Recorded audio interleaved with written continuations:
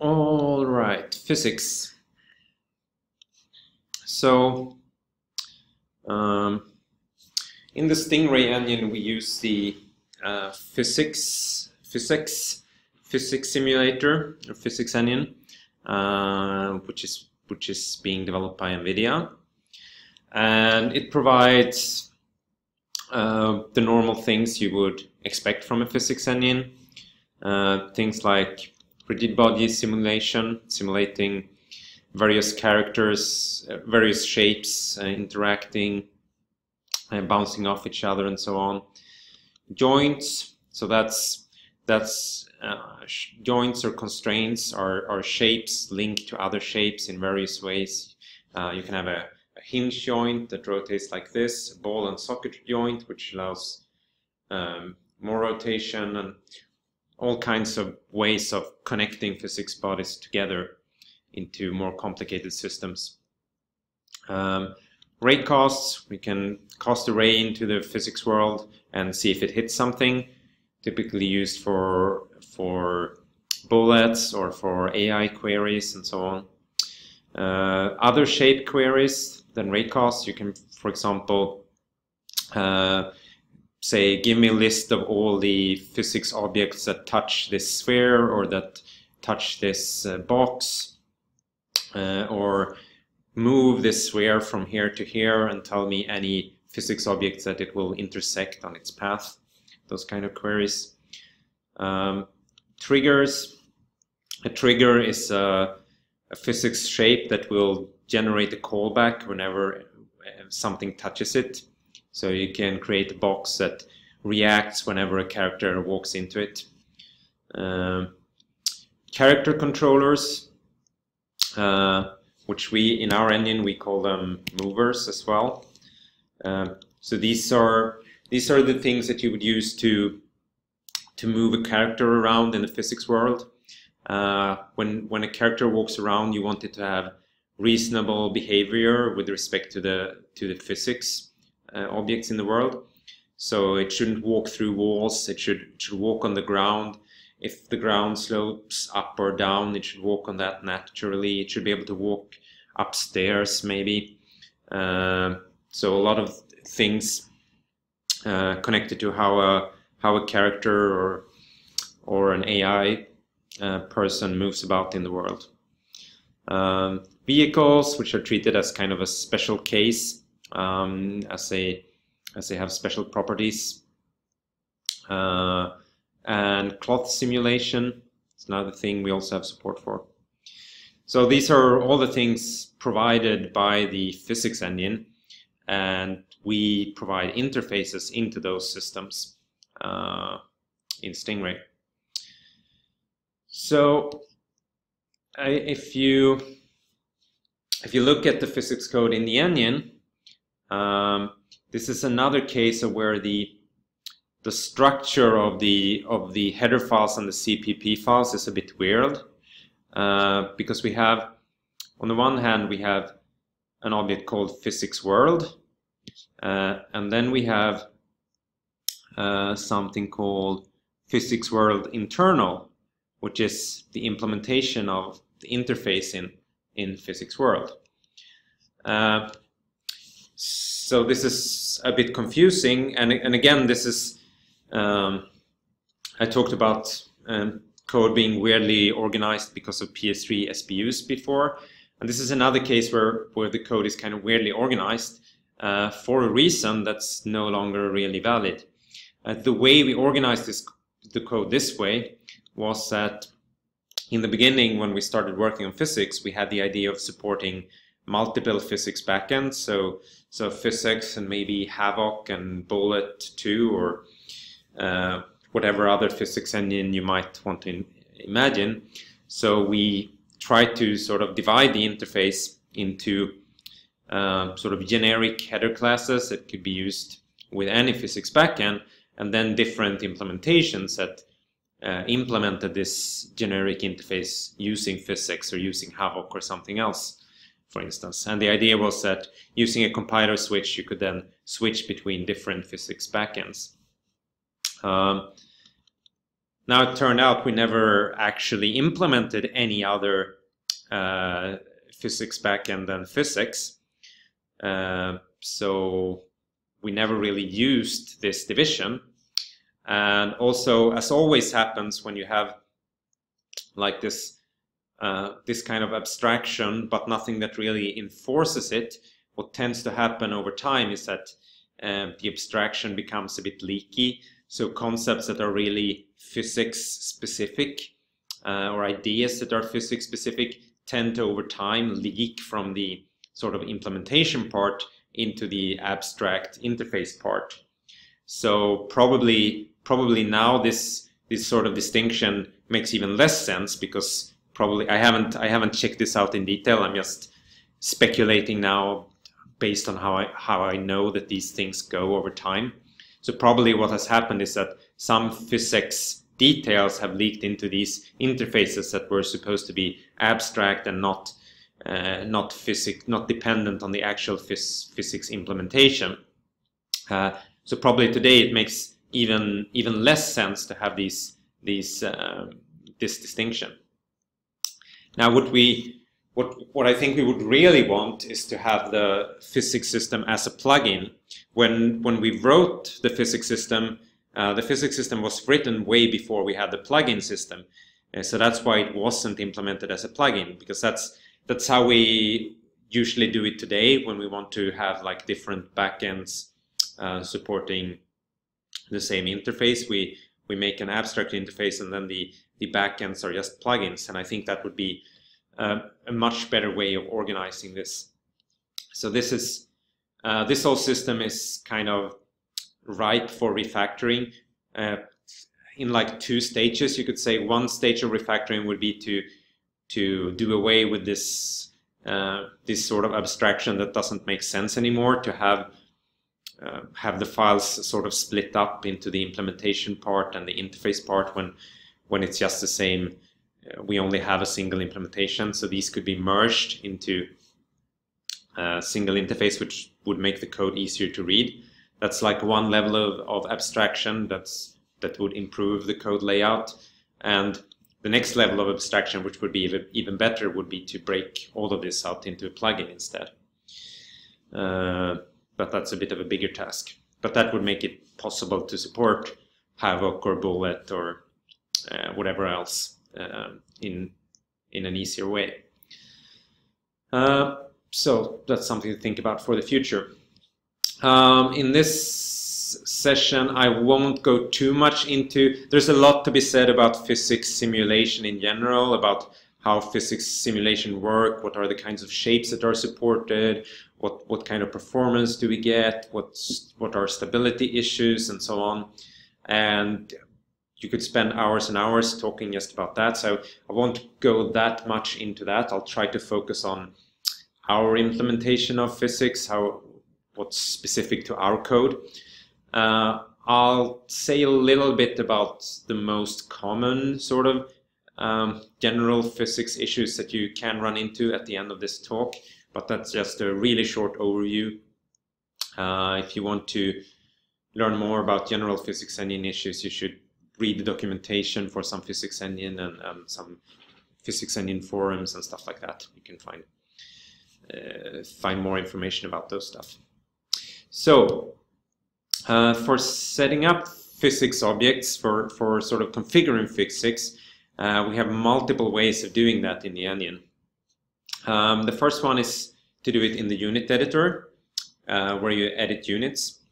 Uh, so in the unit editor, you can select the graphical mesh uh, that has been created by the DCC tool and export it to an FBX file. And you can say that this mesh should have physics. We should create the physics actor based on based on this particular mesh. And when you do that, you can also select um, the type of shape that should be used for the mesh. So you can say that it should be a sphere or a capsule or a box uh, or a mesh, like representing the full mesh, uh, the full graphics mesh, or a convex object. And the shape type you select will be fitted so that it fits uh, the shape of, of the graphics mesh that you've that you've chosen to add an actor for. So if you selected a capsule shape, it'll try to fit the capsule shape to that uh, graphical shape that you that you have. And you can either do this you can either do this for existing graphic objects. So if you have a, a graphic uh, a graphic uh, mesh for a chest, for example, in in in a unit, you can select that graphics mesh to have physics and pick a suitable physics object for it. Or you might have made, in the DCC tool, you might have made a custom shape, uh, a custom mesh, which is just for the physics. So you might have made a simpler shape because you don't want to have as many vertices in the physics or whatever. And in that case, you would select that shape to have physics, and then you would disable rendering for that shape. So that shape would only exist as a, as a physics shape. Um, you also you also select what properties uh, your physics object should have. Uh, things like uh, friction, uh, restitution, which is like bounciness of the object, um, mass, other stuff like that, typical physics properties. Uh, one of the properties is also the kind of simulation you want, and there are three kinds. There are kinematic or keyframed, means that the object is uh, object is animated, it is controlled by the engine, uh, but you want it reflected into the physics. So you might have an animated platform, for instance, uh, but that platform should push physics object around. So it needs to be, it needs to be, it needs to exist in the physics world, but it's not pushed around by the physics world. It just follows the animation 100% and pushes physics around. Another common example of this is uh, hitboxes for characters. Typically, if you have a character in the game, you uh, if it's if it's gunplay based game, uh, you need something to raycast against when someone tries to hit the character. So typically, you put some uh, some boxes for representing the overall shape of the character uh, into the physics world, so that you can do raycast and see if you if you hit that character or not. And since the character is animated, uh, those hitboxes will be kinematic or keyframe. They will follow the animation of the character. They won't do anything in the physics world on, on their own.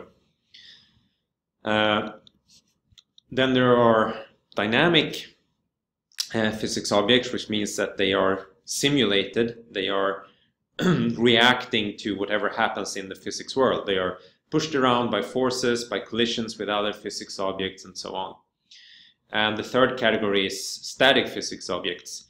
Uh, those are objects that never move, like maybe your basic floor plan of your level. That just consists of static objects. They will never move.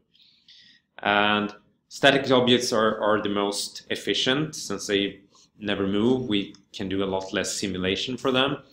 Kinematic are more expensive and the dynamic ones are, are the most expensive. Um, sometimes when you when you think about this, you you might want to uh, you might think about having objects that are kind of both kinematic and and uh, and dynamic. Like, well, I want my player, I want my the leg of my player to to be kinematic because or keyframe because it should follow when the player is running, uh, the leg should follow. But of course, if the player runs into something, if the player runs into a physics object, uh, then the leg should stop because it hits that physics object. Uh, so I want it to be kind of both keyframed and dynamic. And if you if you start to go into that territory, it's easy to get yourself super confused because it's uh, you get into the problem. Well, who is actually in control here? And in the end, you need you need to sort of decide who is actually in control. Is it well? Is it the animation that's in control, or uh, or is it the physics? Because if it's the physics, then that could mean that well, maybe your leg gets stuck behind the box, and the rest of the character moves on, controlled by the animation. Uh, then you will just have a leg left some left behind in the level, and that will will look super strange. So um, so you really need to think about if you want that kind of interaction between uh, animation and physics, you really need to think about how that's going to work. Uh, but to keep things clear in your head, you should consider objects to be either kinematic or dynamic. They are either driven by animation or they're driven by physics. Uh, now you could make something that's physics driven but sort of constrained to an animation to get sort of a, a mix of both both words. But when you think, think of an individual object, you should think of it as, as having a clear owner. It's, it's something that controls the position of this object and it can't be two things because uh, then it gets confusing. Um, so these, these properties that an object has, um, they are defined in a global file which enumerates the physics properties and I'll, I'll talk more about that later. Uh, anyway, if, if you're setting up the physics in the unit editor, um, it will create a .physics file next to the .unit file and that .physics file will contain all the physics settings for that unit. Um, another way you could set it up is using the PhysX plugin for Maya. So the PhysX plugin allows you to set up shapes, uh, joints and constraints from within Maya and then you can export that and use it in the engine. It should be noted that in the unit editor, we don't have any constraint editor. So in the unit editor, you can only set up simple shapes. Uh, you, we don't have any way of, of configuring constraints between the shapes uh, from within the unit editor. Uh, so if you need constraints, for example, if you're setting up a ragdoll, uh, then you need to do it uh, using the PhysX plugin in Maya. Um, the PhysX plugin doesn't have any knowledge of our our global physics properties files, ones we, uh, because that only exists in the engine, and the plugin is not engine specific. That's a generic physics plugin for for creating physics objects, not not something specific to the Stingray. So so it doesn't know about these properties. So if you want to if you want to give uh, the objects that you created using this plugin, if you're going to give them properties, like specifying whether they should be kinematic and, and connecting them to our property system, you have to do that map in the unit editor. So in the unit editor, you would go into uh, these shapes uh, created by the PhysX plugin and say that they should have specific properties. And uh, these uh, setups that you do with a PhysX plugin uh, they are exported in a .physics file, uh, which ends up next to the unit. Um, a third way is to do it manually from the script. So from the script you can spawn a physics sphere, spawn other kinds of physics objects um, if you need to create something completely dynamically. Uh, and finally for Cloth, Cloth has a special editor. Uh, so that's that's another editor which also exists as a Maya plugin. And the cloth editor will, will export yet another file format called .apx, which is where your cloth files will live. So there's not numerous ways of setting up the physics objects. Um, the physics properties, as I said, they're specified in a global file for the project.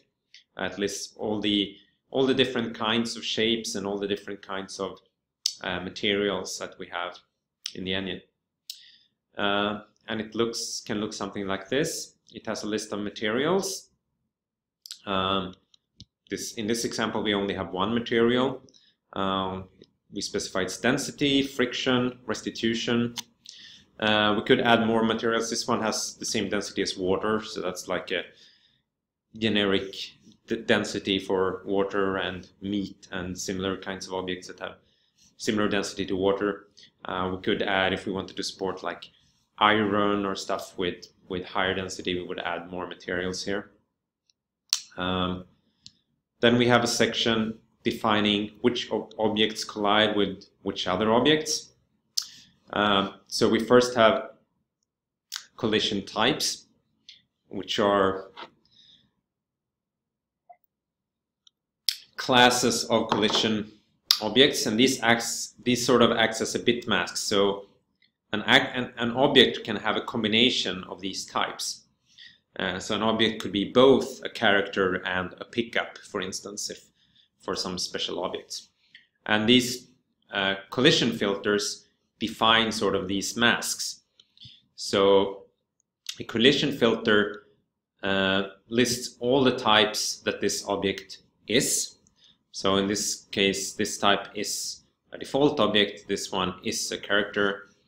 Uh, we could create another one that that was both a character and default object by, by listing them both here, if we wanted to. Uh, and then it also lists objects of this type, which object do they collide with? And you can either do that by explicitly listing the objects and uh, the types it collides with, or by, or by listing uh, the types it doesn't collide with.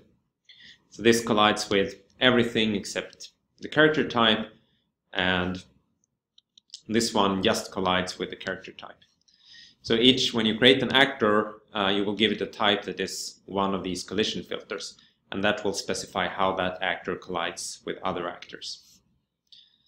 Uh,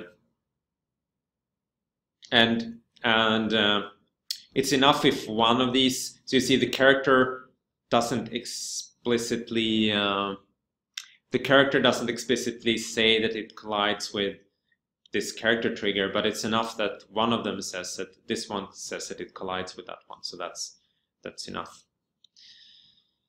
Um, then it also has uh, properties for shapes. So whenever you set up a shape in the unit editor, you will give it one of these shape types. And that will specify what kind of shape it is. Uh, we can disable collisions, for example, disable raycasting for it, and so on. Uh, and also, we will give it an actor type, and the actor type specifies whether it's dynamic or kinematic or static, and it also specifies damping and so on. So, multiple ways of setting up properties.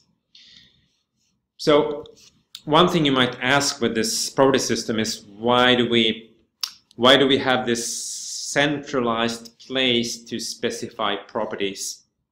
Why don't we just uh, why don't you just when you set up the actor, why don't you say, well, this actor has this linear damping, the actor has this friction, like in the unit editor when you set it up, it should have this friction, it should have this damping, uh, and so on. Why do we put it all in a centralized location instead and, and then reference into this centralized location? Um, well, there are two main reasons for that. One is that it makes it easier, by having everything in a central location, it makes it kind of easier to tune behavior. Uh, so if you see that, uh, oh, it seems like my, it seems like my objects are sliding around a bit too much, I, I should increase the friction, then you can just go into the central file and increase the friction uh, for all the objects and see how that behaves. Uh, if we didn't have the central file, then we'd have to go into each and every object and change the friction uh, friction of that object, which would be kind of tedious. And I would say this is sort of a this is sort of a general design issue that tends to that tends to crop up again and again in an engine. It's something I've seen I've seen multiple times. Like should you put it's just like a general design philosophy question should you put things should you put configurations and properties directly into the objects or should you put them into templates and then link the objects to templates so that you can then modify the templates and there are advantages and disadvantages of both both kinds here the sort of the template model makes it easier to change things for for multiple uh, multiple related things at the same time. Uh, so it's easier to do these. It's it's sort of a clearer structure to change those things. On the other hand, it, it adds a layer of indirection and in that way complexity to the system. Uh, it makes the UI more complex because if you're going to show this in the UI, you sort of have to distinguish between, uh, oh, this is a this is a value that is set on this object or this is an inherited value from the template uh, and it becomes more complicated for the users to to reason about templates and templated things and inheritance between things. So I think this is this is one of the one of the points where it sort of uh, sort of becomes um, a distinction between uh, beginning users and, and more power users. I think for power users, they definitely prefer these being able to create kind of these templates and and order create more orderly thoughts about the world in that way by creating hierarchies of objects with with templates that are inherited. While as for beginners, that that whole thing might just create confusion. It might be easier to just see, well, I'm just setting the properties of, of this object. Um, but that's just a general thing. And, and the reason we've done this, this especially for physics, that's kind of a, a reaction to, to what we saw in previous engines. Uh, because what we saw in, in previous engines was that uh, artists who were the ones sort of setting up the physics of objects weren't very good in, in, at specifying good physics properties for objects. So uh, we would often see things like, well, here's a football. It weighs um, it weighs 1,000 kilograms or something like that. Uh, just lots of lots and lots of physics values that didn't really make sense. Um, so I think that was what kind of led to the idea that well, well, we can't really expect individual artists to do proper physics setup of objects. Uh, we should just move that responsibility into a more centralized place where a single tech artist can go through all the physics setup and see, well, this actually makes sense from a physical perspective. So I think it was that kind of uh, that kind of thought that led us to to do this to specifically for physics make sure that we have everything centralized like this. Uh, so that's one reason, but there's another reason too, and that's that PhysX uh, in itself only supports a limited number of collision types. Uh, because these collision filters end up as bit masks, and these bit masks have a fix fixed width, so we can actually only support 64 different kind of collision types. And if we had the collision types uh, stored for each object, that, that becomes kind of hard to control how many different collision types we have and, and what are the collision types really. Uh, in, in a filter, you want to specify what other objects I can collide with, but if the collision types are like spread out in all different kinds of objects, you might not even even know which other collision types exist, and it becomes kind of confusing to create this uh, collision mask that should specify what you should collide with. Uh, so that's the other reason. Uh, but there are big disadvantages to having this centralized system.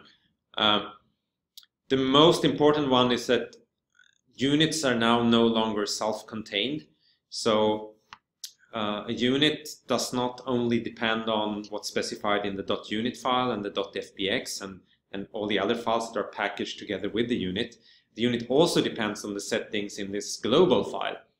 And if we copy unit files between projects, uh, they will typically break, either because they will specify physics properties or, or physics shape types or actor types that doesn't exist in the other object, uh, in the other project, and then they don't mean anything, or they will uh, might exist in the other project, but they have different settings in that project, so now the unit will behave differently.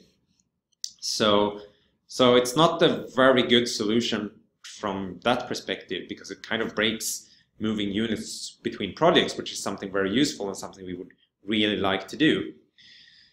So I think it might be better to actually have this um, stored in each unit, like locally, not have this global file.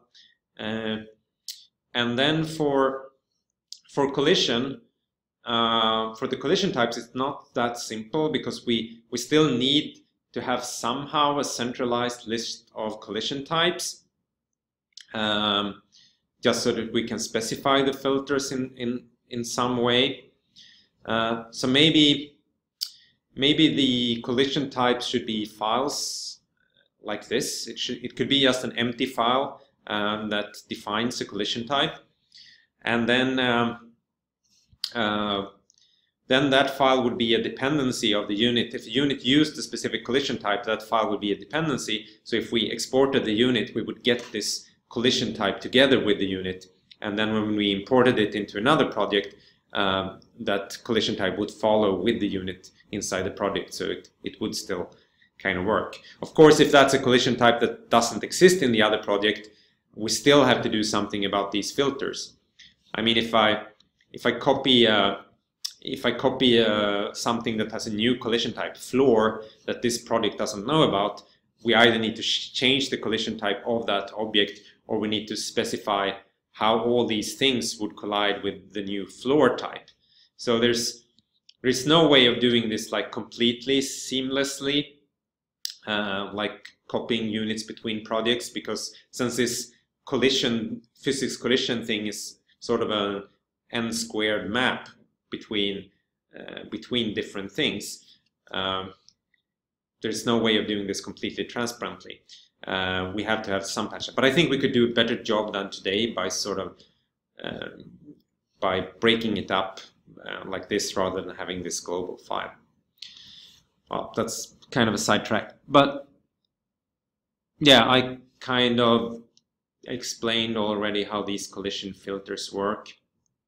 Um, one final thing to note is that they are they're used for object-to-object collisions, but they are also used for all other kinds of queries like raycast and shape queries.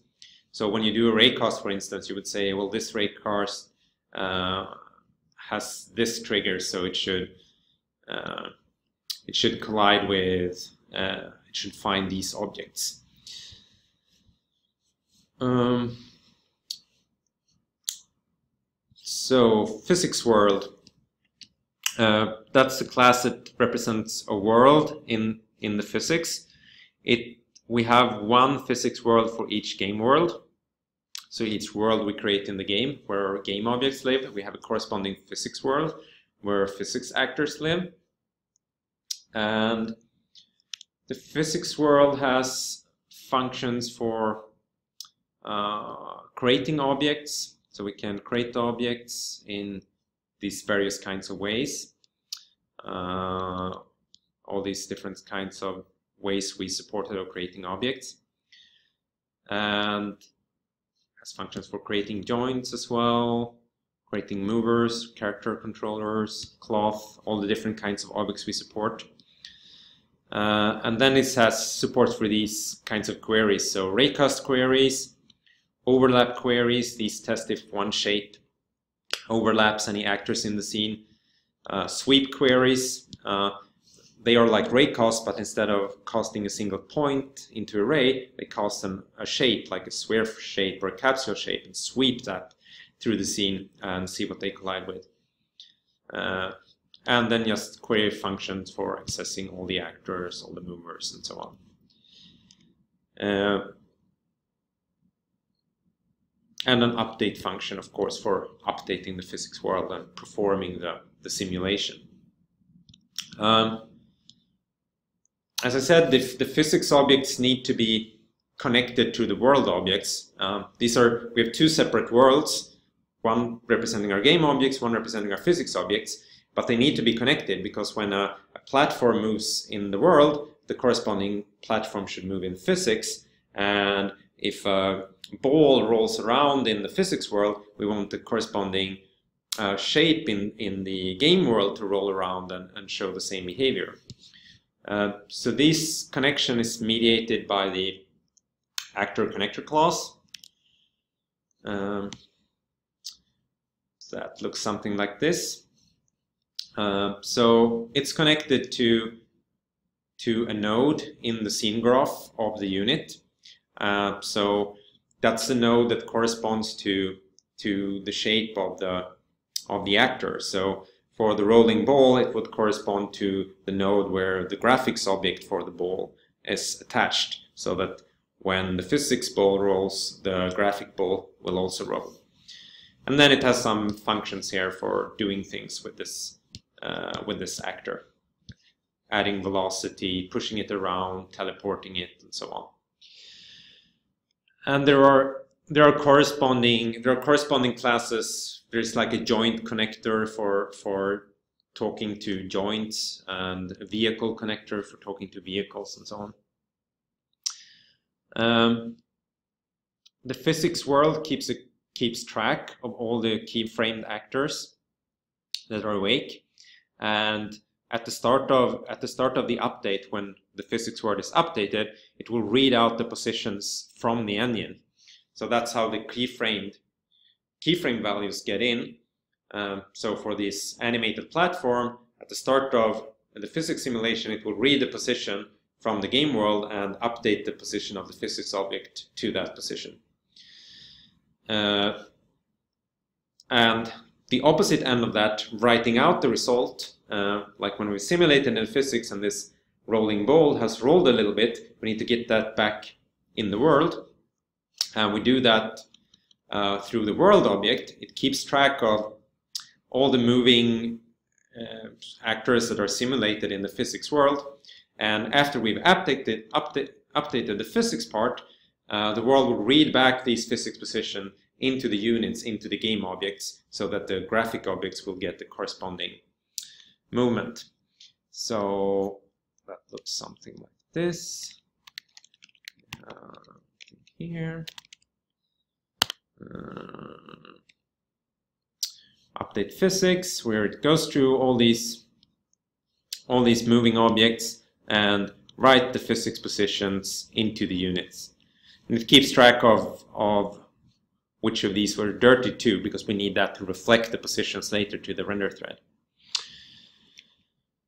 Um, one important thing to note here is that we, we take a lot of trouble so that we don't update all the objects in the world because uh, we want to make sure that the cost we're paying for this is proportional not to the total number of objects, but only to the number of objects that move.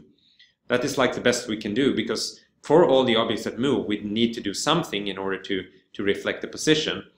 But we shouldn't pay the cost for, for all the objects that don't move. So if we have 100,000 objects uh, in the scene, but only 10 of them move, the cost we pay should be proportional to 10 and not to 100,000. I think that's an important principle that we try to follow everywhere in the engine that you shouldn't pay a cost for for the stuff that doesn't do anything.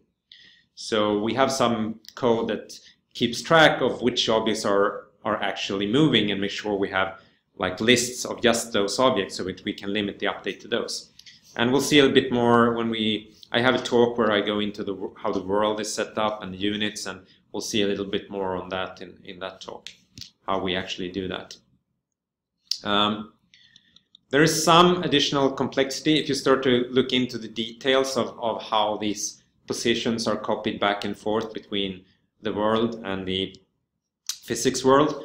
There is some additional complexity there to handle complicated situations because we can have pretty complicated situations. We can have uh, we can have a keyframed object um, that is linked to a dynamic object that's linked in the scene graph. In the game world, it's linked to a dynamic object. So if you have this rolling ball, uh, we might have linked another unit uh, on that ball that should follow when the ball rolls. Uh, and that might be a keyframe physics object, so we want to get that object's position into the physics as well. And uh, the dynamic object, the ball, might be jointed to another to another physics object. So we might have a keyframe platform that moves up and down. And then we have a ball hanging from it, uh, which is simulated, but it hangs from that keyframed object with a joint. And then we may have another keyframed object linked to that ball. So we might have complicated, I mean, the, this we could have as many levels as possible here. We could have an arbitrary number of levels. And one important thing to notice is that we can't fully simulate this because, and because the physics simulation that is done as one incremental step where we update all the dynamic physics. Uh, and that means that uh, we can't get uh, the keyframed objects that's, if we have this situation where we have a keyframe platform, a ball hanging from it, and a keyframed object on the ball, uh, we do our first update. We update this keyframe platform into the physics world, so it ends up somewhere here in the physics world. And then we do the, the simulation of this dynamic object, and it ends up here. But during that simulation, uh, the keyframed object that's attached to the ball will be in the wrong position because the ball hasn't updated yet. So we don't know where this keyframed object that sits on the ball should be. So in the physics world, the keyframed object of the ball will still be here. Then we do the physics simulation.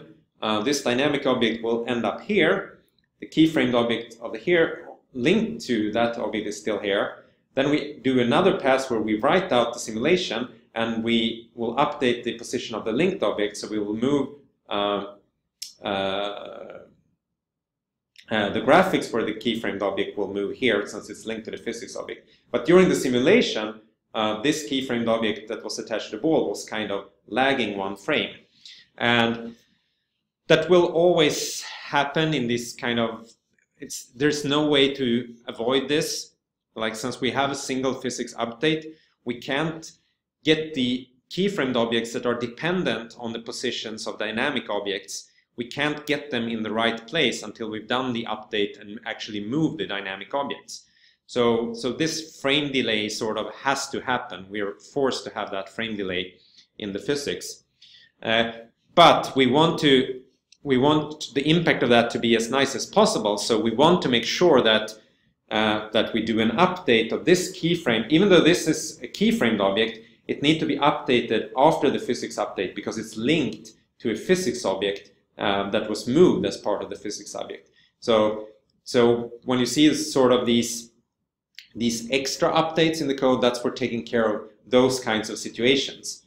So it, it won't fix that, the, that this keyframed object is in the wrong position for the physics simulation, but in the graphics afterwards, it will be in the right place because it will do uh, an extra update to make sure it's uh, to follow the dynamic object it's linked to. Uh, this can be a bit complicated to think about in your head. So if, if you get into this situation, you can sit down and think about it a bit more. I'm not sure it's how easy it is to follow the explanation when I just speak about it here. Um, one important topic when it comes to physics is, is time stepping. How do we step the time in the physics? As I said um, in a previous talk, in the engine we generally use a variable time step. So we step with as much time as we has. We measure how much time has passed, and that's the amount of time we step after some, some filtering and in this time step policy class, if you remember. Uh, but that's not really good for physics. Um, physics really likes to have a fixed time step. If you step physics with a variable time step, you tend to get unpredictable behavior and some physics objects like stacks and chains will behave differently depending on how long your time step is. And stepping with variable time steps can cause them to sort of jump around and, and behave strangely. So in physics, we really want to have a fixed time step. And uh, our model is we use a 60 hertz time step and we don't do any interpolation. Uh, so I'll talk a bit uh, more about that later. Uh, now the actual in the in the real world, in in the game world, uh, it's not certain that one sixtieth of a second has passed. It might be less. It might be more. So what we do in the physics is we take as many steps that we need uh, to keep up with this, and this may cause a bit of jitter if you're looking at the uh, simulated physics objects, because in some frames uh, we will take two simulation steps. Say, say that we're running at, at 45 hertz. So we're not running at 30, which would mean we would always take two steps in physics, and we're not running at 60, which would mean we would always take one step. Instead, we're in a situation where sometimes we'll take one step in physics on some frames, and on some frames we'll, step, we'll take two steps in physics.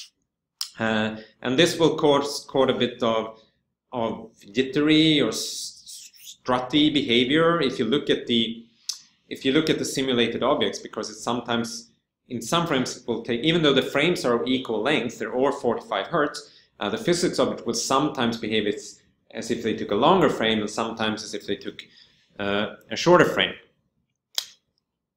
How noticeable this is can be sort of debated. Some people think it's very noticeable, some people think it's not so noticeable. Uh, but this is this is the behavior we have in the engine, and there has been like discussions about, or I've thought about uh, getting rid of this behavior. And the typical thing you would do in an engine uh, in order to get rid of this behavior and get some something smoother is that you would interpolate the graphics position uh, between the physics time steps.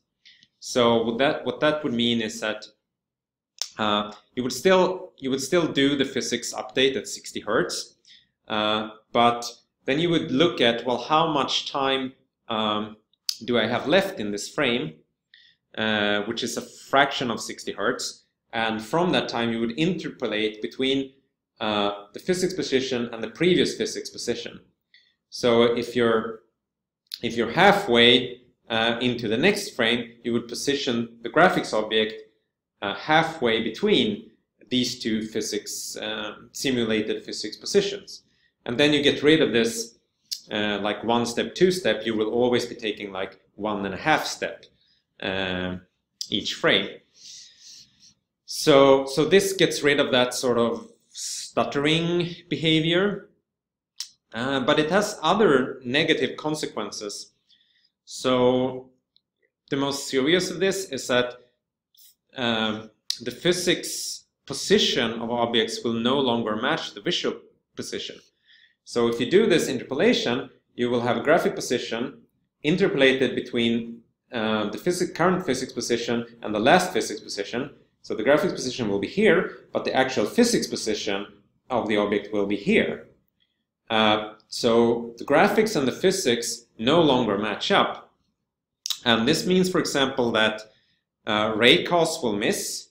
Like if you shoot, if you shoot towards the graphics position, and you think that you would hit the object because you're seeing yourself hitting the object, or this was the graphics position. Ah, doesn't matter. Uh, you would think that you would hit the object because you're seeing yourself hitting the object, but since the physical object is in a different position, you wouldn't actually hit. Um, so you could argue, well, does this really matter? Because because the positions only differ uh, a lot when the object is moving quickly, and at that if it's moving quickly, it's kind of hard to say whether you're hitting it uh, anyway. But there are situations where it definitely will matter. So one of those situations is, for example, if you have uh, if you have two cars running next to each other. So if you have like a kind of a car chase scene where one car is running, the other car runs up to that car, and they're now running next to each other, and you shoot from one car over to the other. Now now their cars, now both cars are moving at a high speed, but they're moving in sync. So it's easy to aim from one car to another. You can easily see into the other car and you can easily see, oh, I should hit uh, this person in the other car. But since the, since the actual physics object is at a different position, you won't actually hit that person in the other car in that case. Uh, you will hit something else when you do a raycast in the physics. Um, Another situation where, where this can become very visible is if you have like a bullet time effect, like where, where, where you slow down time in the game, go into a slow motion mode. Now, if you go into a slow motion mode, um, it would be very, then it would take a really long time for, for the, uh, you, you would have these two physics position and in slow motion, the graphics would move really slowly from one uh, from the old physics position to the new one. And then if you were sort of aiming at the object in this sort of bullet time mode, where it's moving really slowly, you could aim directly at the object and you would say like, oh, I'm totally hitting this object right now. I can totally aim at it and hit it, but you wouldn't hit it because the physics object would be over here. So that's another time where, uh, where this can lead to trouble. Um, you can maybe get around these raycast issues by by doing different updates by, by keeping the raycast world separate from the from the simulation world and doing the raycast world uh, updating the raycast world not with fixed time steps but with variable time steps and reflect sort of the the graphics position in the raycast world but having a separate simulation world uh, where you uh, where you step with fixed time steps, but it kind of gets more complicated. And another issue that isn't really fixed by that is that uh, when physics and graphics no longer match up, that means that your character will be able to penetrate the graphics. So if you have uh, the graphics here and the physics over here, and you have a character running up against the object, uh, the character the character will uh, test against the physics world, so it will run sort of through the through the graphics part uh, over and collide stop when it reaches the physics part here. And that might mean that your character can penetrate into the graphics world. It might even allow your camera to go through um, go through the graphics object so you can see through the object, which is kind of bad behavior. So, so in conclusion, there are I'm, there are a bunch of problems with interpolating physics too. So I, I'm not sure I would want to completely switch the engine over to interpolating physics or interpolating between the physics frames. But I'm thinking maybe we need to support both. So maybe we need to have flag somewhere in our settings that says uh, we should interpolate physics between frames uh, or interpolate graphics between physics frames or no, we should follow exact uh, the physics position. And then the uh, the game developer can sort of decide based on the requirements of their specific project if they want to what kind of errors they're willing to tolerate if they prefer to have this sort of jitter or stutter effect or if they prefer to have uh, this situation where ray raycasts can miss and characters can penetrate in some circumstances. So I think that would probably be the right way to go with this. Um, so some other issues with the time step. Uh, what if the time step, engine time step is really long? What if like there is a, a hitch in the frame so that the engine time step is really long? Well, we don't want to, in that case, we don't want to take a large number of physics steps uh, because that can cause a thing called spiral of death, which means that uh, if we say that the engine time, say we get a hitch so uh, the engine time turns out to be one second. Well, then we take need to take 60 physics, 60 steps in the physics. So we take 60 steps in the physics, but maybe that takes a really long time, simulating 60 steps in the physics. So maybe the the time for the next frame turns out to be two seconds because it took so long to simulate all that physics. Well, then we determine, oh, now I have to take 120 steps in the physics. Then we do that, and then it takes even longer, and so on. Uh, so we need to put a cap on the number of steps we take uh, in order to avoid this sort of downward spiral where each frame just takes longer and longer uh, until, until the game is unplayable. Uh, so we have a limit on the number of steps set to something like five or something. I don't know what, what the default is. You can change it, but it has some default setting. Uh, what this means in practice is that if the game is running, if the game is running in low frame rate for some situation, if you have a lot of graphics or more than the engine can handle, uh, the physics will sort of go into a slow motion mode because we will take fewer steps in physics than the time that has actually passed. And the effect of that will be that less time happens in the physics world. So the physics world was, will kind of slow-mo. This is kind of similar what you would see in in like old Nintendo games, like you shoot a lot of bullets and the whole game goes into slow motion. It's kind of a similar thing, but just applied to physics in this case. Um, another situation, so this time stepping is kind of more complicated than you would initially think. Uh, but another situation that can happen is, what if the engine time step is really short? And the typical case is, as I mentioned above, if, is if you have bullet time or slow motion uh, uh, a bullet time or slow motion effect. So uh, if we did that, if we stepped down and went into real slow motion mode, um, since we, if we continue to step the physics engine at 60 hertz in slow motion, then what you would see is uh, you would see the object in its place for one frame for a long, long time since, since we have slowed down time, uh, this 60 hertz step that we're stepping the physics at takes a really long time. So we'd see the object in one place for a long, long time, and then would jump to its next position and be there for a long, long time, and then jump to its next position. So that would look really, really bad. The object would kind of snap between these, these places.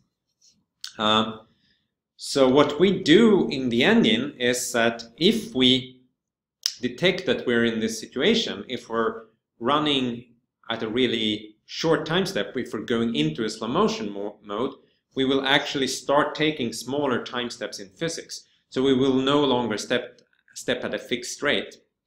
Now, typically this is, uh, as I said, you typically want to take fixed time steps in physics.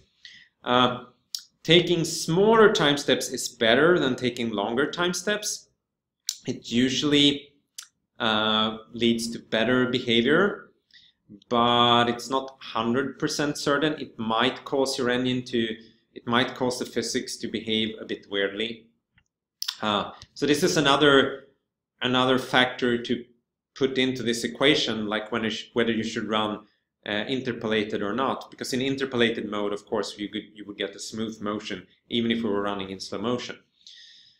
Uh, now with this, you will get a smooth motion. With smaller time steps, you will get a, a, smooth motion, but you might notice an object that is resting, like a stack of objects that is resting, might suddenly move a little bit because the uh, the change in time step changes sort of the uh, the equations for the constraints between these objects and they might change their behavior a bit. So yeah, as I said, I, I don't think what we're doing now is the right choice for every game. So I think we should. Oh, uh, oh yeah, most of these things are currently configurable in in in the settings file. The only thing that's not configurable right now is interpolation. We don't have support for that yet, but that's something I think we should add, and I think we should add that to the configuration files. you can select whether you want to run interpolated or not. Um, the mover, uh, as I said before, that's the character controller that determines how characters move around in, in the world. And we're actually using our own mover for this. Uh, there is one in PhysX. We've sort of borrowed ideas the, from the one in PhysX, but implemented it on ourselves to have better control of it.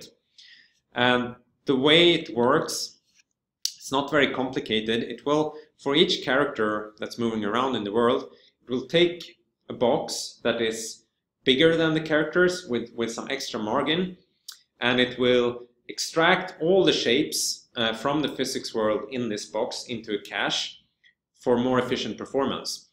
So all the triangles, all the spheres, all the capsules, meshes are broken down into triangles and the individual triangles that intersect this box go into the cache. And then, and then we just do capsule sweeps within this cache uh, for, for checking whether this uh, capsule character can move, uh, uh whether it collides with everything when moving around here. And when the character gets to the edge of the cache, we'll bring in a new cache. So we'll bring in a new set of triangles and spheres and capsules and then collide, uh, collide against those. But by keeping the cache local, uh, we can improve the performance a lot compared to just doing uh, if we did like capsule sweeps in the full physics world. So the, the cache is sort of an optimization for, for getting faster, faster sweeps in a localized context. So there's an interface to the mover, uh, uh, which which should maybe be called mover connector, like if it to be consistent with actor connector and so on. Uh, but that allows you to send in positions, how you want the, the mover to move, and you can query it for its position. So you send you send an an argument, I want to move this mover like over here, and then the mover is simulated and it collides with something, and then you can query its position and say, no, it actually ended up over here because it collided with, with this thing. And you can query things like, is the mover standing on something? Like is it standing on solid ground or is it flying around? Is it colliding with anything? If it's standing on something, what's the slope of the thing it's standing on and so on. Uh, and, and the mover class uh, talks to this lower level sweep test class, which which performs uh, which performs a move operation and then just sees what kinds of things uh, it hits. Uh, so typically, uh, when we when we move the character controller um, or the capsule representing the character, it's not a single sweep. We actually do it in three motions. We first sweep up and then forward and then down. down. And the reason for doing that is to be able to step over like small bumps uh, or otherwise if we just swept forward we would hit a, a tiny tiny rock and the uh, the controller would run into that and then it would stop. So we wouldn't be able to run over small rocks or just small ridges in the level. But by sweeping up, forward and then down we can sort of implement stepping and this also works for running upstairs. Um, there's a lot of kind of fine tuning in the mover to get it to do a reasonable behavior. There are a lot of things we want to want it to slide nicely. When you if you hit the wall at an angle, you should slide and go forward against that angle. If you're running up against the wall, we want to make sure that the mover is stable, that it doesn't like shake back and forth to the wall. There are a lot of little details like that in, in the character controller. And and some if you're making a, a really a game where you want to take more control over this, it might make sense to go in and, and change some of this behavior in, in our character controller. Uh, in addition to what we allow you to, to change with like configuration parameters. Uh, because it's really how the character behaves when it's running around that's really connected to how the game feels and how the game behaves. You might want to have more detailed control of that. We've tried to make try to put as much as possible into parameters. You can configure like how steep slopes you can run up and, and, and stuff like that. But, but, there might be still be stuff you wanted to, to do in the uh, controller code. Um, raycasts. Uh, they look something like this. You specify a ray from position, a direction, and a length where you cast a ray a filter for uh, what objects you should hit. Uh, you specify a collision filter flag and also flag whether you should hit static objects or dynamic objects or both. And then you get back a result that is like the position where you hit something, the normal of that hit, and the actor that you hit.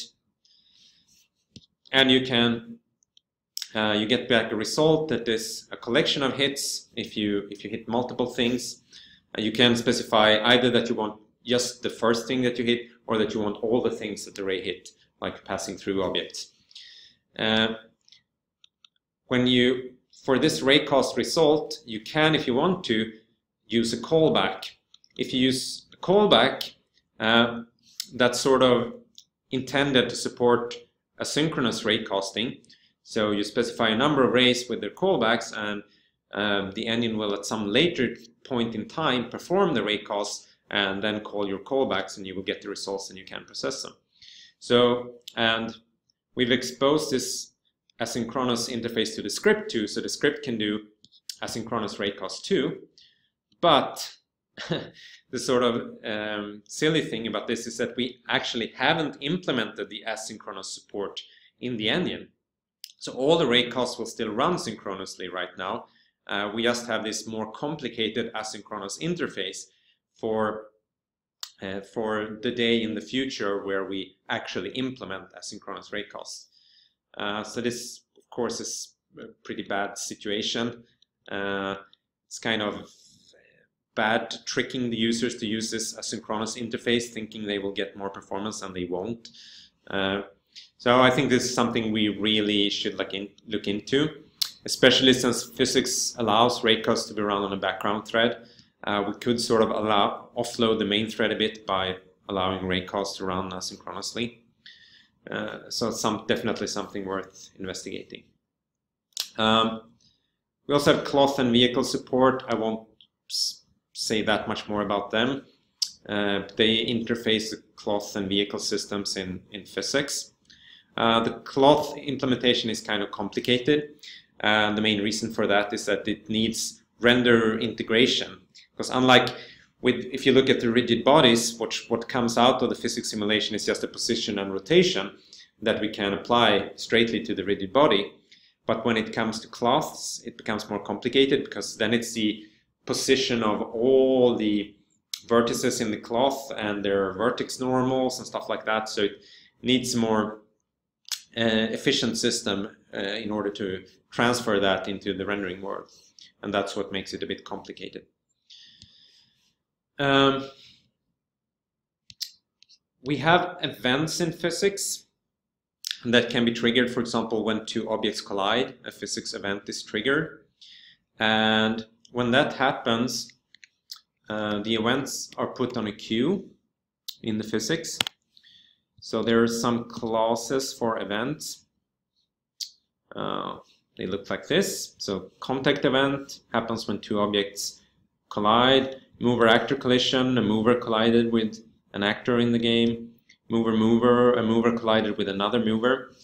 So these are just structs with a type identifier, and we just put them on a on a byte stream, just a just a big array of bytes. Just put put one of these events after another uh, in the physics system. This is again the general system we use for propagating events. We just put them in the big buffer in the lower system, and then a higher level system pulls this buffer and reacts to the events. So in, in our case, it's the world that does this.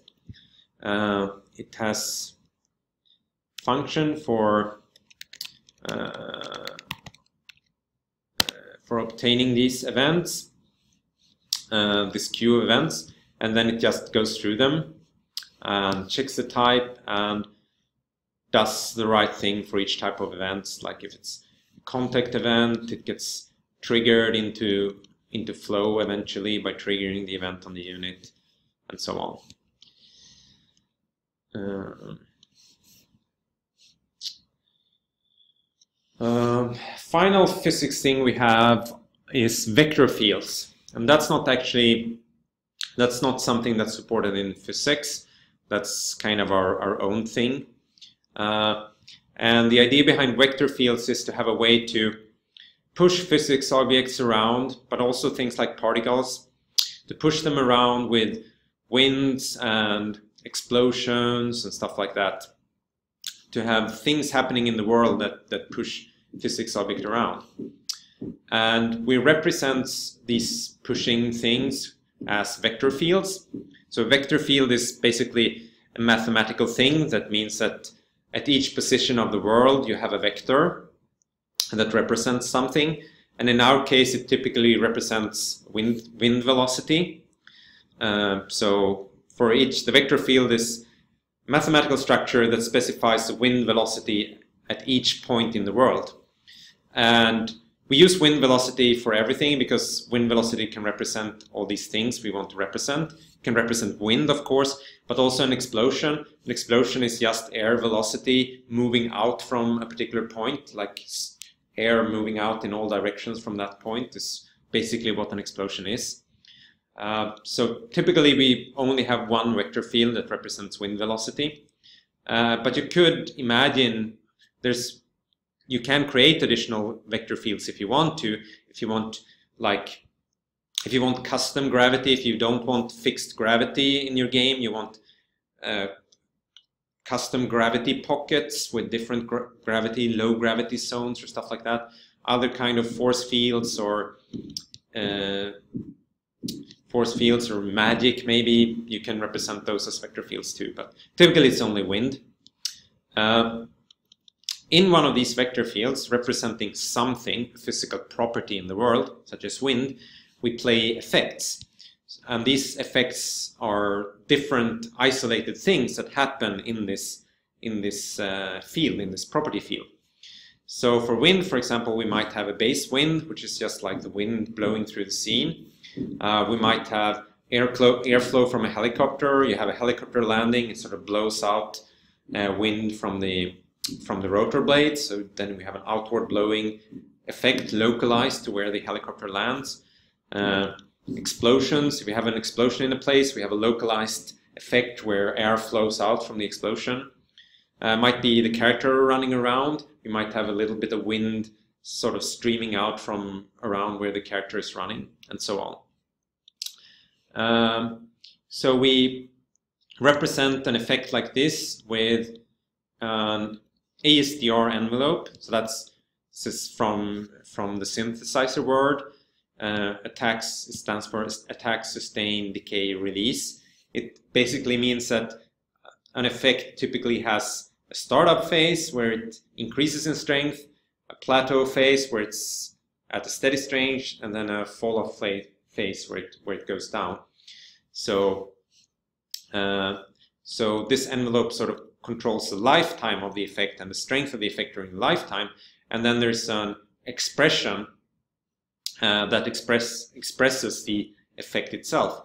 And this expression expression is some kind of some kind of code, and it's actually written in this vector language that I talked before when I when I in the math talk. So for for an ex, for for a sort of outflowing thing, it might be something like this. This uh, this is a wind of strength 10 times uh, the normalized uh, direction between the position and the origin. So it's 10 meters per second in the direction uh, out from the origin of this effect, so sort of an outflowing air effect. And then there's a fall off, it's divided by the length uh, distance from the from the effect, so it sort of falls off with distance. Uh, but you can write whatever expression you want here. And the way we evaluate this is that each frame we find all the expressions, uh, and these are compiled into bytecode as they are for the vector language, this sort of parallel bytecode that I talked about before. So each frame we take all the expressions from all the currently running effects and we merge them into a single bytecode just to be able to run them more efficiently. Uh, rather than running a lot lots of single bytes code, we run a single long bytecode expression. Uh, we also fix the variables that are constant for the frame. So typically there, there are variables in this uh, these expressions um, uh, that can vary from frame to frame, like the current time, for instance, or or where the origin, maybe the origin of the effect moves around if it's linked to something. So these are variable uh, for the frame, but they are constant. Once in a particular frame, they are constant, and only the position that we are evaluating uh, the vector field at changes. So we lock those variables into constants, and then we can do constant folding to make the bytecode more efficient.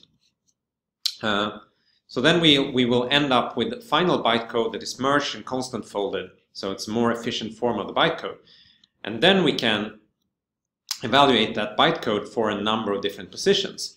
So we do that. So to do that for physics, for instance, uh, we find the position of all the physics objects in the world that are affected by the wind. And then we call this in parallel using this parallel bytecode evaluation that I talked about before and we evaluate in parallel the wind strength at all those positions, and then we apply wind forces to these objects. So we can look at that.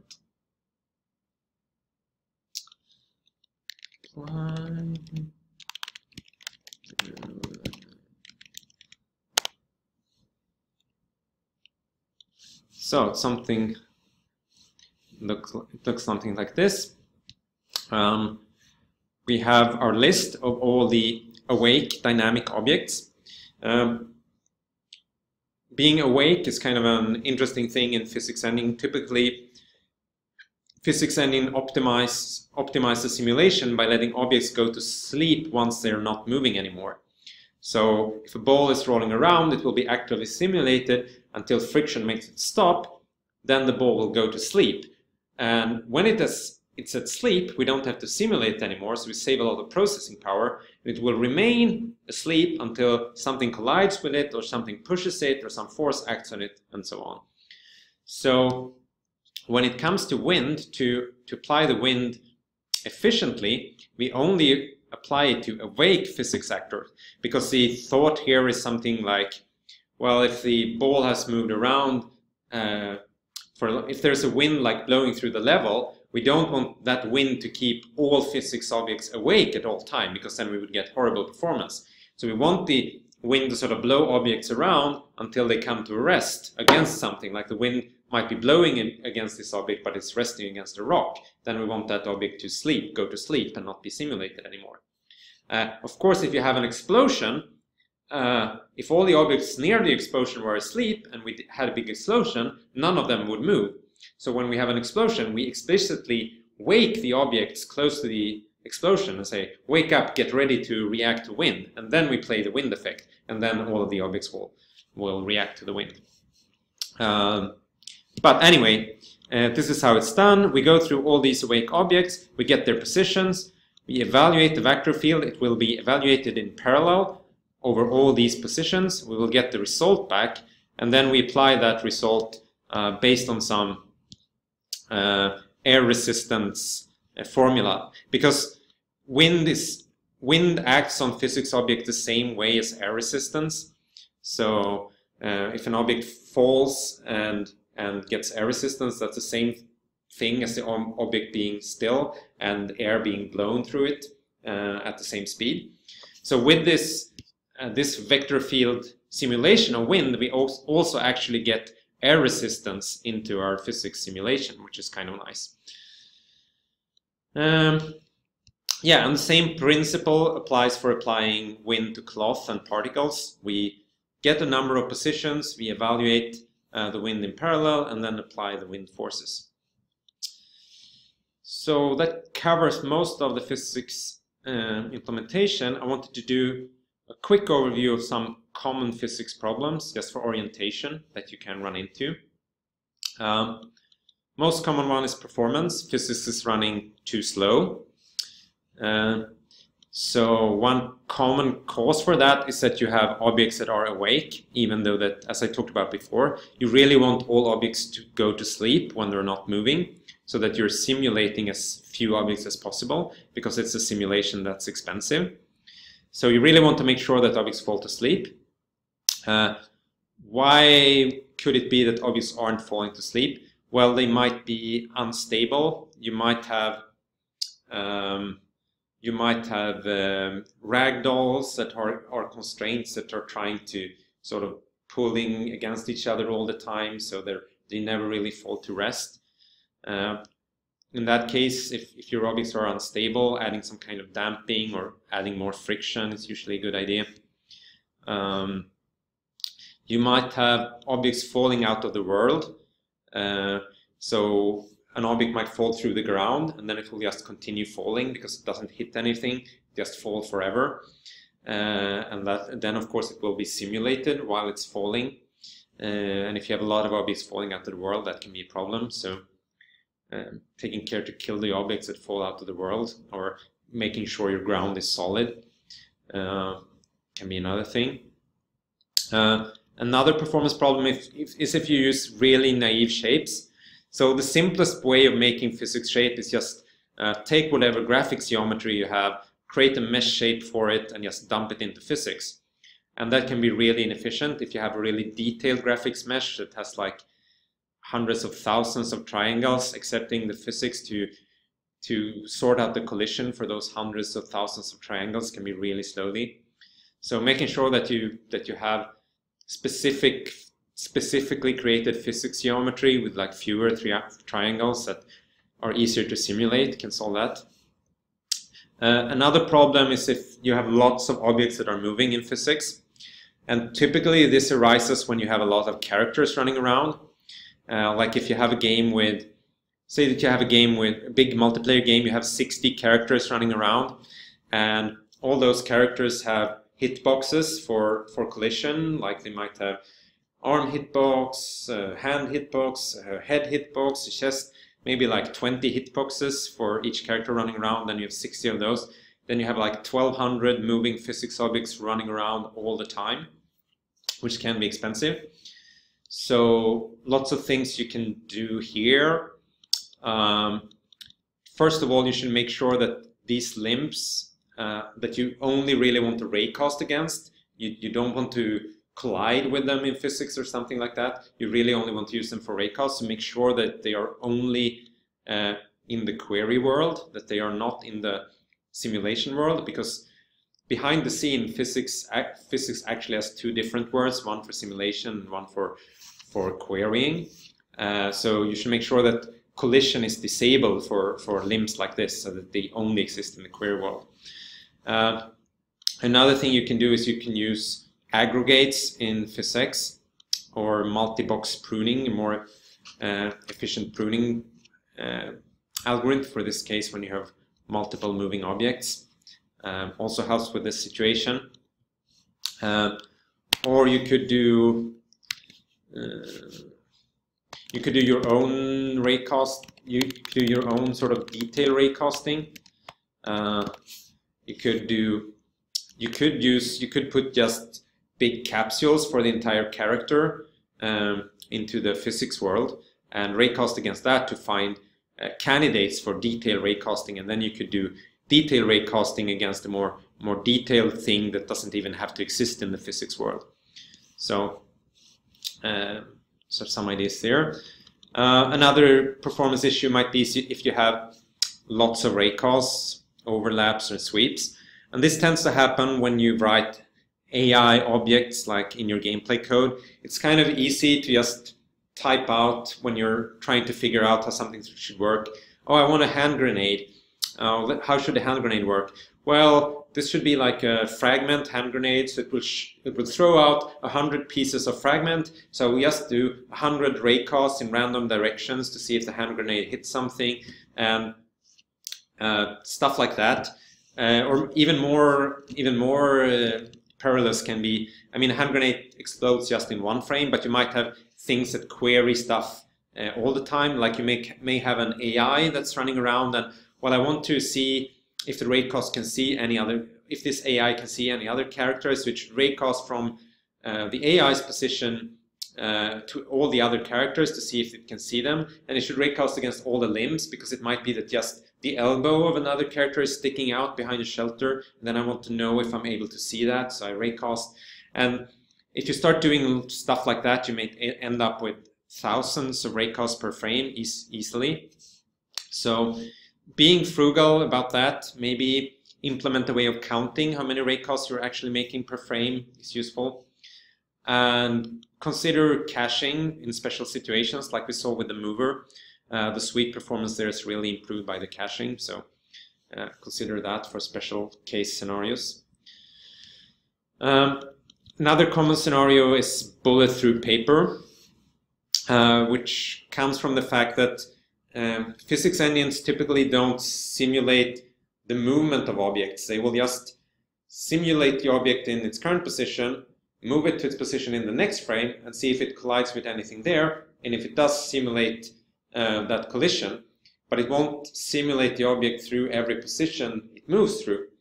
And that can cause objects, small objects can fall, small objects that are moving fast, if they're on one side of the object in one frame, and on the other side of the object in the other frame, we won't ever detect the collision. So that's usually called a bullet through paper problem because it happens with fast moving small objects like bullets when they collide with thin objects like paper. And this can usually be fixed by introducing sweep shapes. So that's a flag that you can set in the physics properties that said that instead of just considering the collision at the start and end positions, we should actually do a sweep test whenever we move the object and see if it collides with anything on the way. And that will deal with those kinds of situations. Uh, another problem that can arise with ragdolls is that uh, you have set up a lot of constraints. Uh, can happen with ragdolls or with long constraint chains. And you get some kind of instability, like the constraints don't settle properly, they're kind of shaking a bit. So uh, things to think about is that constraints behave, behave better when the masses are similar of all the involved objects. Uh, so you don't have one super heavy object at the end of a chain of really light objects. That's that's usually leads to bad physics behavior. Uh, you can also consider adding extra constraints when you have a long chain. So instead of having, if you have a ball on a chain, instead of just having constraints between each link of the chain, you can add extra constraints between one link and the link two links from it, a position constraint that limits how far this one can get from that one.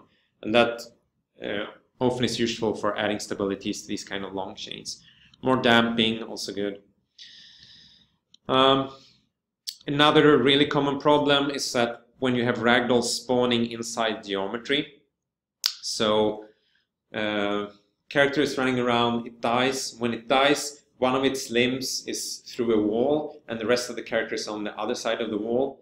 And then you will have this situation where the, the, the constraints will try to pull the character together and you will get lots of violent shaking because there's a wall here in between so this actor can't pass through the wall this actor can't pass through the wall and it will look really bad and ridiculous so I mean the proper fix against this is don't do this don't spawn ragdolls inside other geometry uh, but that can be easier said than done and the reason why this happens usually is that usually you want to have parts of the character sticking outside the mover. So the mover is a capsule that controls how the character moves around in the level. And uh, when the character is running around or aiming or doing stuff like that, uh, if the arms will typically stick out of the mover. Uh, the reason for that is that if you made the mover big enough to encompass all the movements of the character arms, then the mover would have to be like three meters wide, which means you, you couldn't walk through a door uh, with your character because you can't walk through a door with both your arms outstretched like this. So the compromise is typically you make the mover smaller and you allow the arms to go outside the mover, and that makes it possible to go through go through a door like this of course, if you do, your arms will clip through the graphics of the door, which kind of looks bad. So if you want to want it to look better, you need to add extra intelligence, as I talked about in the previous lecture, uh, in this intersection between AI and animation, some sort of interaction where um, the animation is aware of the world and, and sort of pulls in the arms as it goes through the door, something like that. But um, uh, the connection to ragdolls here is that since arms or legs or whatever can stick outside uh, the controller, uh, we can end up a situation where the controller, through the mover system, the controller is always kept so that the controller, the character controller, doesn't intersect with physics. But the arm stretching out of the controller may intersect through a wall. And if we then suddenly turn that arm into a ragdoll, we now have a physics object uh, either through a wall or on the other side of a wall. And then you get this uh, shaking ragdoll.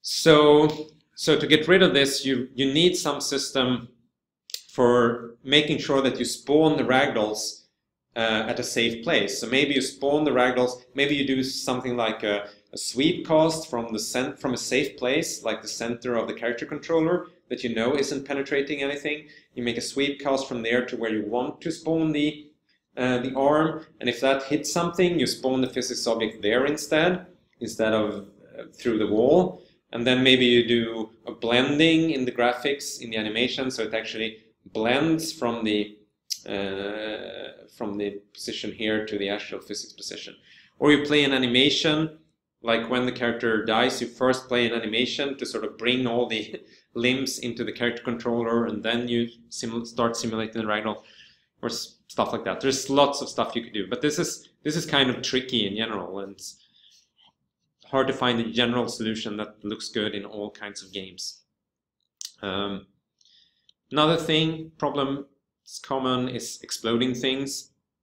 Uh, that typically happens when things are spawned inside other things. Like you spawn a couple of balls and some of them happen to penetrate as they are spawned and they will fly apart with tremendous force and it will look really strange. So again, you can avoid this by not spawning things inside other things, which can be tricky. Even, even when setting up a level, it's kind of easy when you're positioning objects in a level, you might position a, position a physics object a bit down in the ground, and then when it's spawned, it will sort of fly out of the ground. Um, it's kind of easy to do that. So another thing you can do in PhysX is to lower the, the penetration velocity, which is the velocity used to separate objects that are penetrating. And by lowering that a bit, you can you will still get the objects sort of going apart, but it won't be this big explosion where they fly apart. They will sort of separate a bit more slowly, which might look a bit better. Um, there are a lot of other physics issues to consider. One good resource for that is Pierre Terdiman's blog, which is at this address. He discusses a lot of uh, issues like that. Um, any questions on this? Oh, this was a really long talk, I just realized.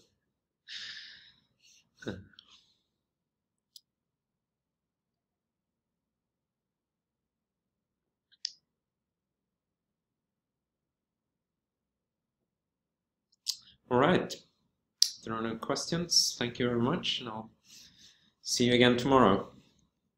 Cheers.